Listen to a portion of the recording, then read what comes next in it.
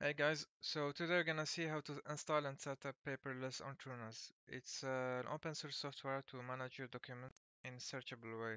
Uh, It lets you organize your scanned documents, your emails, or any document you have, and perform OCR and text det detection from it, basically, and uh, put it in uh, in their database so that you can search any text you want inside it. You can also tag your documents and group them in specific groups. Uh, as you can see, this is how it looks like. Alright, so make sure to hit the like button, subscribe, and let's get started. Okay, so as always, you're gonna start by creating datasets.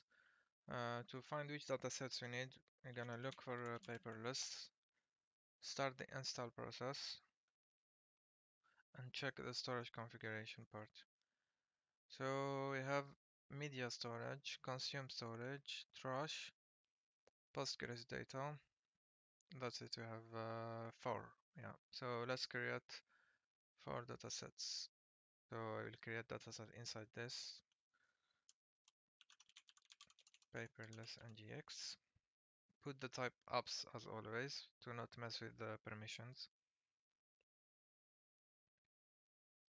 Then you create four datasets. Let's start with media. All of them must be apps, uh, the type of apps, of course. We have, ah, we also have data, data, media, consume, trash, and uh, Postgres, so five.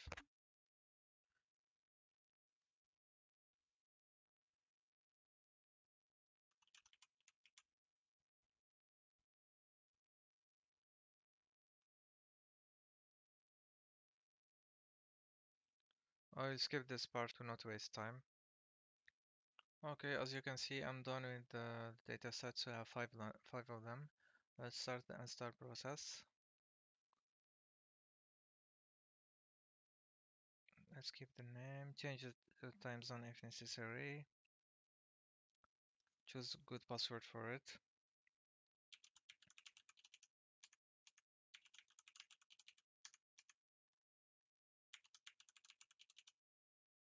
Make sure to use a strong password, of course.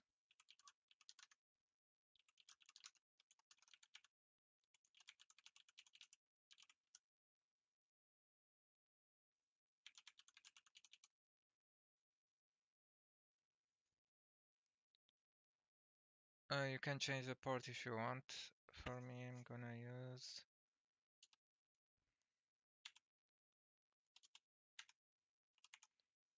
this part. It's just uh, to remember it easily, of course. Uh, now let's set up the datasets. Host path.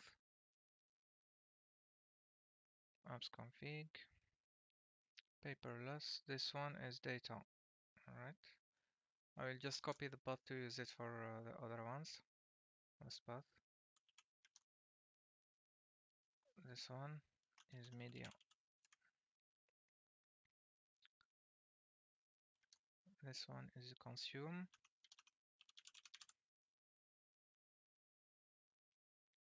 This one is trash.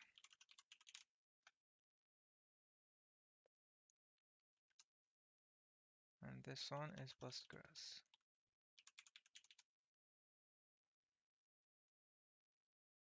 Alright, hit install. Okay, this looks good.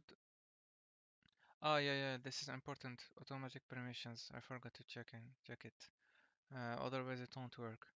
Whenever you see Postgres uh, or anything database related, uh, enable automatic permissions. Anyway, hit install. Okay, now it's deployed. Let's start it. Type the username and password you choose.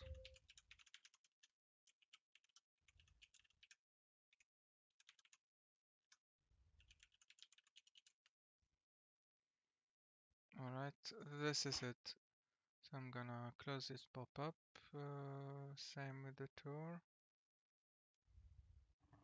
You can you can watch videos about it later.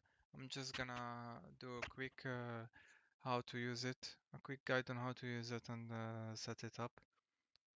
I'm to start by uploading a simple file. As an example, I'm to choose this flight ticket.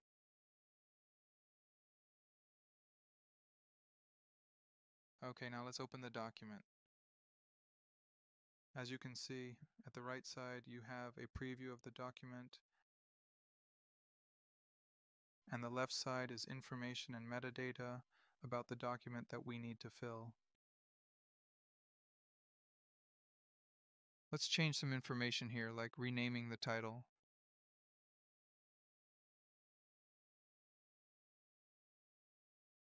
We can also specify the document type. For that, we need to first create the actual type, so let's do that. Go to Document Types. Then Create. And give it a name. For me, I'll create a flight type to add my flight tickets.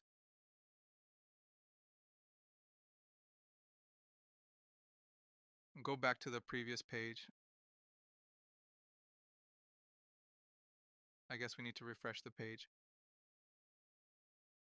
Now we can specify the document type we just created. We can also add some tags for better organization and easier search. I'm going to add two tags, Paris and flight. In content type, you can see the whole document as a text file, which is used as a searchable text, meaning you can search any word inside the document to find your file that's it. We can save for now, but of course you can edit it anytime to add more tags, or even edit the title.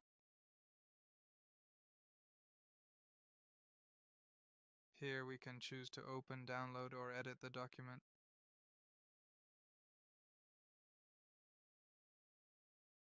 We can also search for documents using specific keywords thanks to the searchable feature of Paperless. That's it. I'll let you explore other features of Paperless on your own. See you in the next video. Like and share if you made it this far. See you in the next video.